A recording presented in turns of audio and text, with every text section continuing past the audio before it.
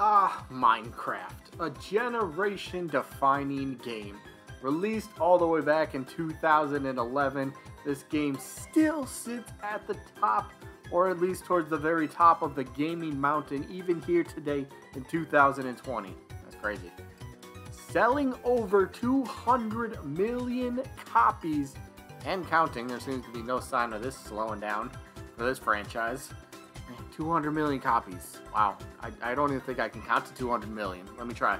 One, two, skip a few. 200 million. There, I made it. Easy. Congratulations. That's how they sold that many copies. Uh, anyway, so isn't it kind of strange that the best selling video game franchise of all time, at least according to, well, Wikipedia, right? Best selling franchise of all time, how do they not have any sort of representation in gaming's equivalent to an all-star game, which just happens to be Super Smash Bros. Ultimate? I mean, come on, it's not like Minecraft hasn't appeared on any Nintendo consoles already, am I right? So let's say Minecraft does somehow get representation in Smash Bros. Say they do get a character in Smash Ultimate, especially, well, now during the DLC cycle, because, well, that's what we're on. But say they do get a character. Who could it be? Well, well Steve, because that's who we're covering today. Yeah, Steve. For Smash Ultimate, we're going over Steve's potential for Super Smash Bros. Ultimate. That should be fun. We'll go over um, a bit of a move set. We'll go over some spirits and uh, a few of the spirit fights on how they could end up playing out. Then, of course, we'll have to talk about a stage in some capacity, so that could be kind of fun. But uh, that's what we got. So let's stop wasting time and get into the move set.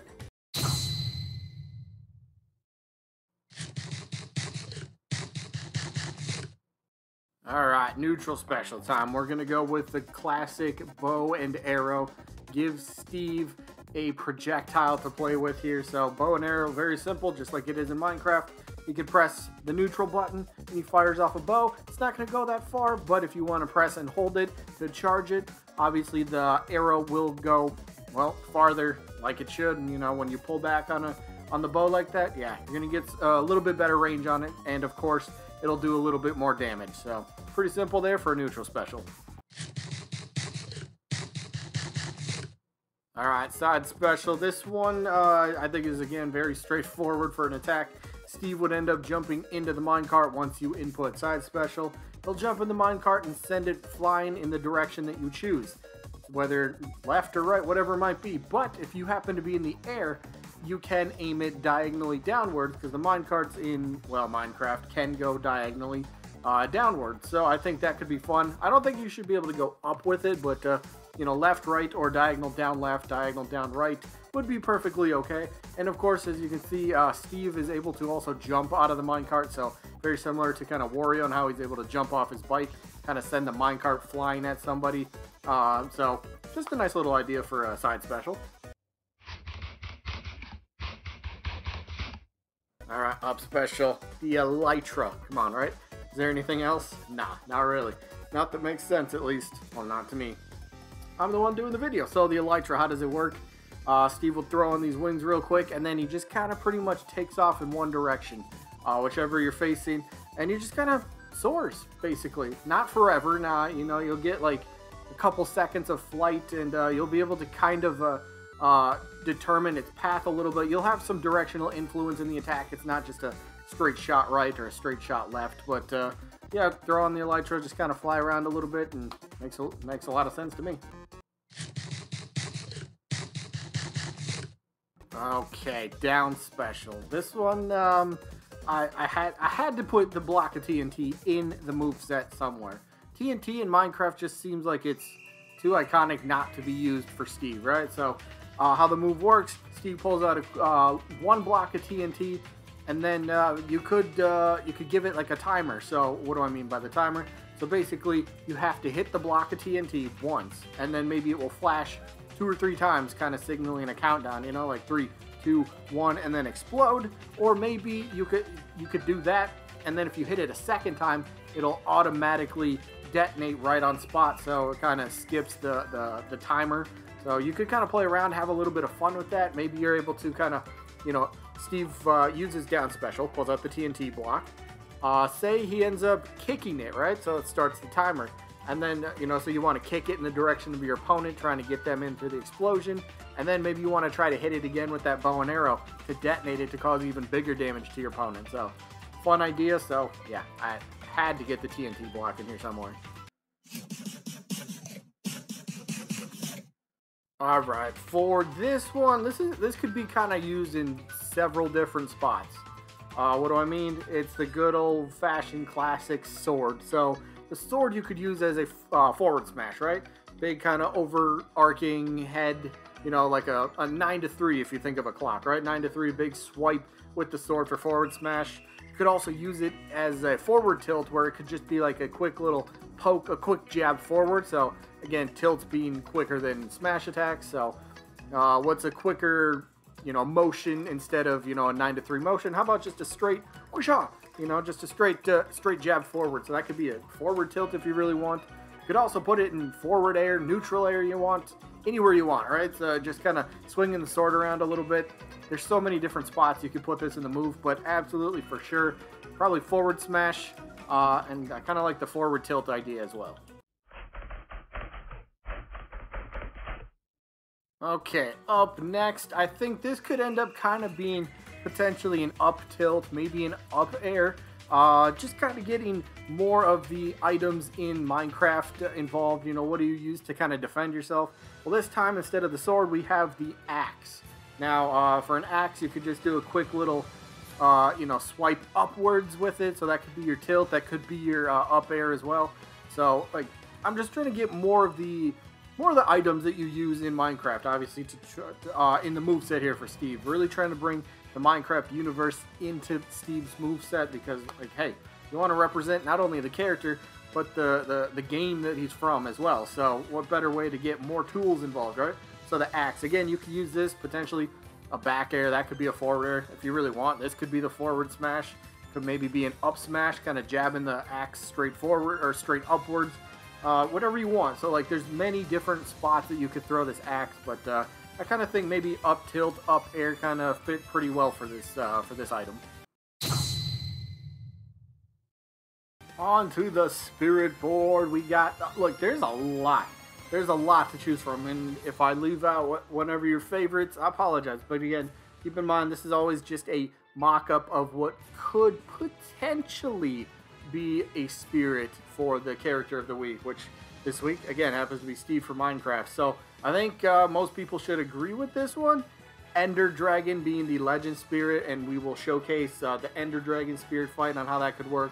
We'll showcase the Enderman uh, spirit fight, the Iron Golem, and the Creeper. are Going to show four of them because they're, they're really simple, but uh, yeah, you can see them. Uh, of course, you got the other basic ones. You got the Zombie and the Villager down there, so uh, simple stuff there.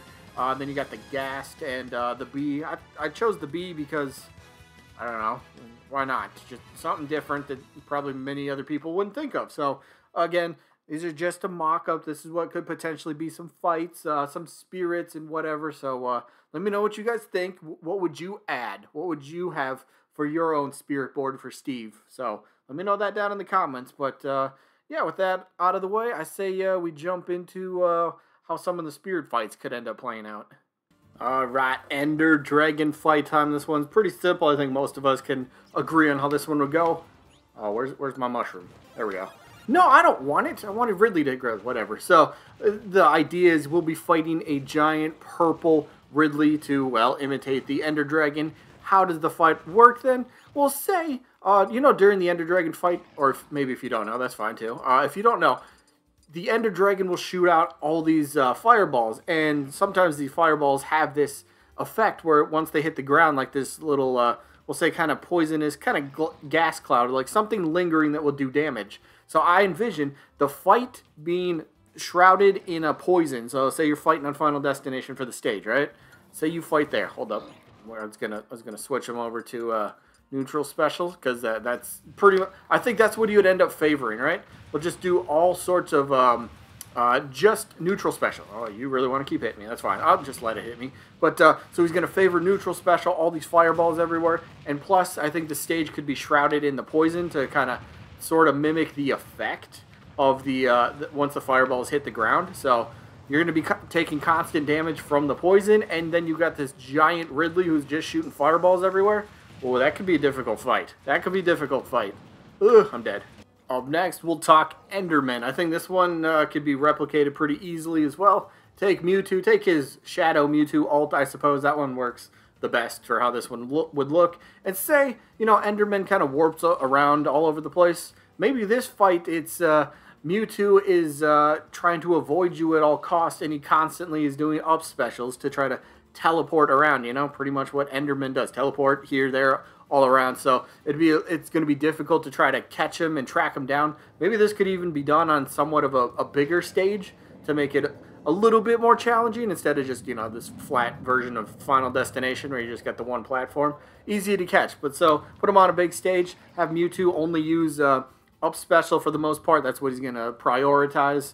You know, just tricky to try to catch him and try to KO him, and it could be like a timed battle as well to make it just that bit more uh, tricky of a fight.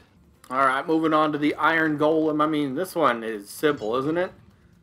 Just a metal Rob. That's who you would face. Maybe Rob even move. No, not maybe. Rob would end up being a slow-moving Rob. So we've had something like this in the past. Maybe you could even make him a giant metal Rob if you really wanted to. But again, he would move really slow.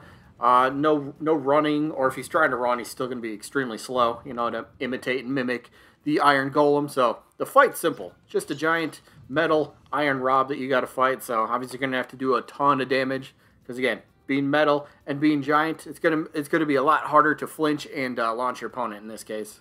And for the last spirit fight that we'll talk about today, let's go with the Creeper. Now this one could be very fun. It, it, it was a little tricky on how I tried to figure this out, but I ended up going with Dark Samus, the green Dark Samus to match, try to match the color of the Creeper. But maybe um, Samus or Dark Samus in this case, either maybe they just have a, uh, you, maybe you fight like an actual horde of them. So you get you have to face like four, eight of them, whatever it might be, and they'll come in over time. But maybe they all are equipped with a bomber, and if you don't know what the bomber does, you activate it, explode. So something like that. You could end up doing that. They could have that item. Or maybe they just favor down special. Explosions everywhere, right? So either one, like, I think that could work. So you favor down special, and and or they could just have the bomber item uh, equipped once they are summoned. And again, bomber, you activate after a couple seconds, kaboom. So, you know, to really mimic, mimic and imitate the creeper, I think uh, this would be uh, very fitting.